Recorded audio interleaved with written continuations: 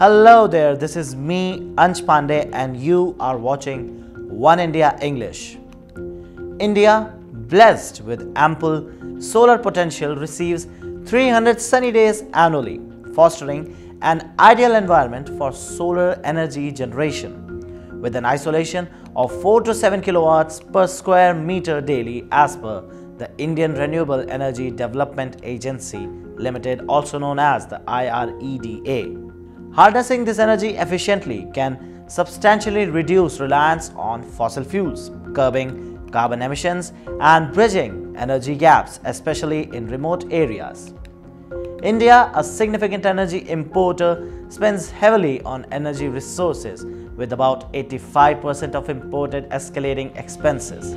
India's solar potential offers a transformative solution, potentially meeting the energy demands while reducing import dependency too.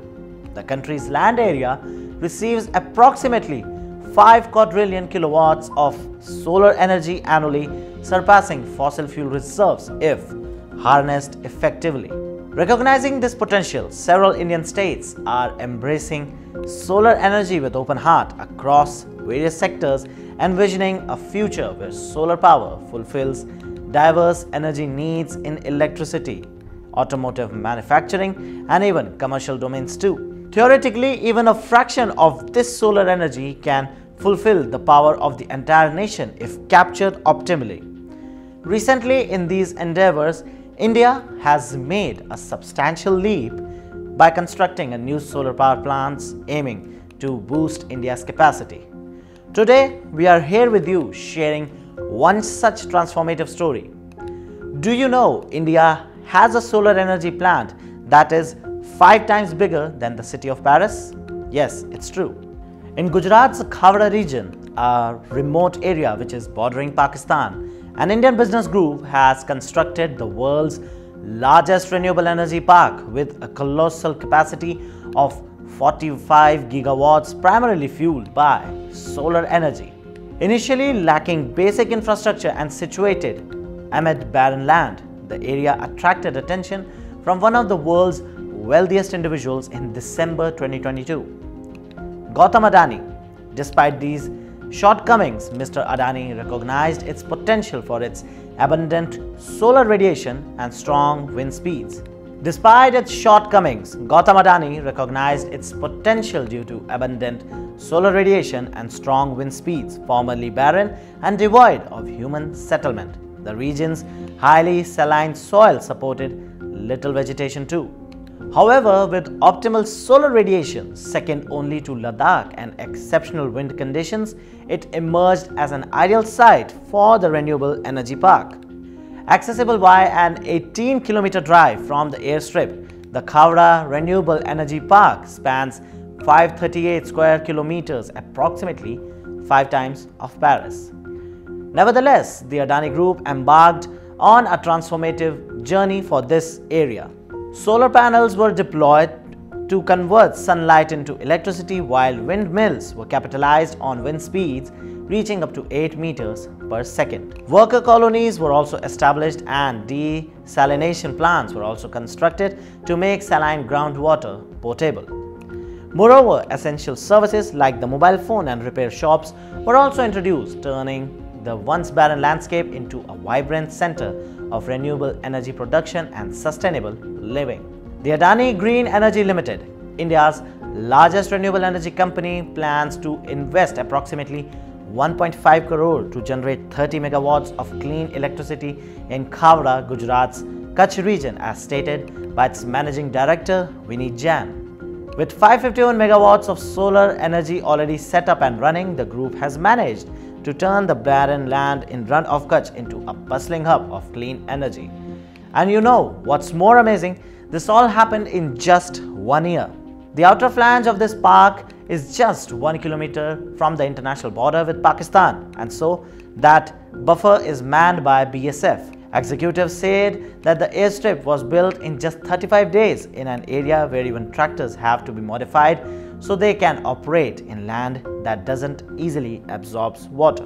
In the Khavda region, where solar irradiation reaches an impressive 2060 kilowatts per meter square and wind resources are among the India's finest, there are notable challenges to overcome.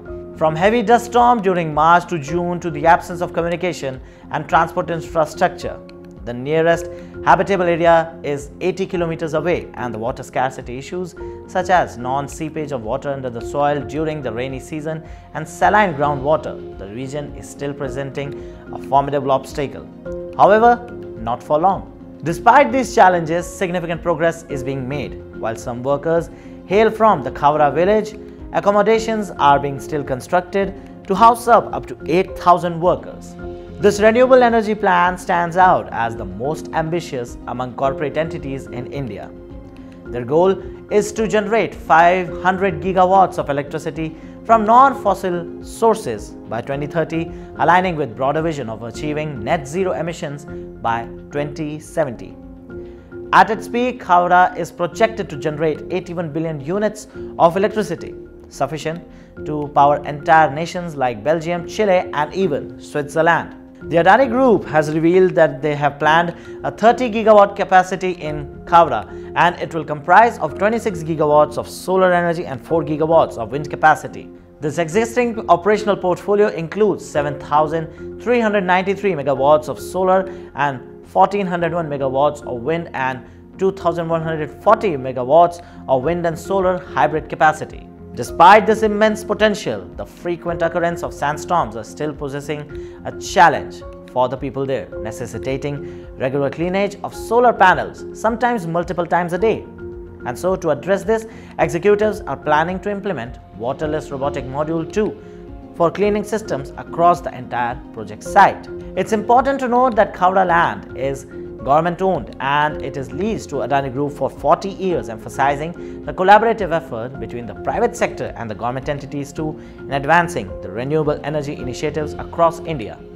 Over the last few years, India has undertook an extensive array of studies and assessment before commencing development as various sites. These include geotechnical investigation, seismic studies and resource assessment too, alongside environmental and social impact assessment and detailed feasibility studies too. Construction of this site, as mentioned before, began in 2022, marking the start of a comprehensive infrastructure development initiative. This encompassed the construction of 100 kilometers of roads, 50 kilometers of drainage systems, and the establishment of a desalination plant and three reverse osmosis RO plants, boasting a combined capacity of 70 cubic meters per hour to cater the people there for the project staff. Additionally, optical fiber cables are also being laid across 180 kilometers for enhanced connectivity and concrete batching plants are also being set up as a part of the project's infrastructure. These strides being made in the Khavda region exemplifies India's commitment for a sustainable development and renewable energy innovation. Despite facing significant challenges, ambitious plans such as Khavda underscores India's potential to become a global leader in solar energy production. With its abundant solar irradiation and favorable wind resources, India stands poised to revolutionize the energy landscape, not only meeting domestic energy demands but also contributing to global efforts to combat climate change. As the nation continues to invest in renewable energy infrastructure and technology, Khavda serves as a beacon of hope, demonstrating that with determination and will, India can harness its natural resource to create a greener and more prosperous future for generations to come.